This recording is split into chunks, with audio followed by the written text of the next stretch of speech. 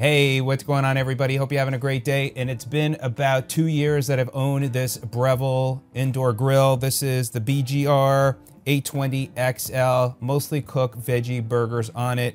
Been extremely pleased. I will put a link where you could get uh, more information on the grill, read other reviews, and order it. I mean, Breville is a solid company. I'll put a link as well in the description where you could see another video that I've done.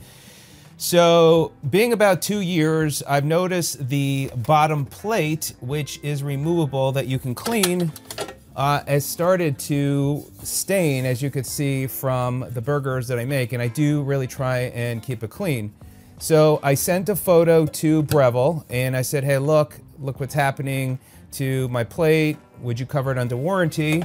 And they just need a little bit of more information. Uh, and you, by the way, make sure to save your receipt which is key.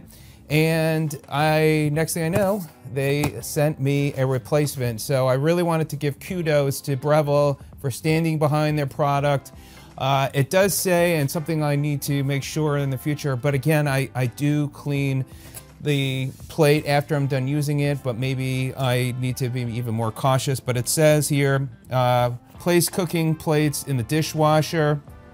Alternatively, wash cooking plates in very hot soapy water with a soft damp sponge, a non-abrasive liquid cleaner, and non-abrasive plastic scouring pad or nylon washing brush may be used to avoid buildup of stains. Rinse and dry thoroughly. So I'll just have to be more cautious, but just wanted to let you know, Breville stands behind their product. Save your receipt. And again, if you are looking for a grill, highly recommend it.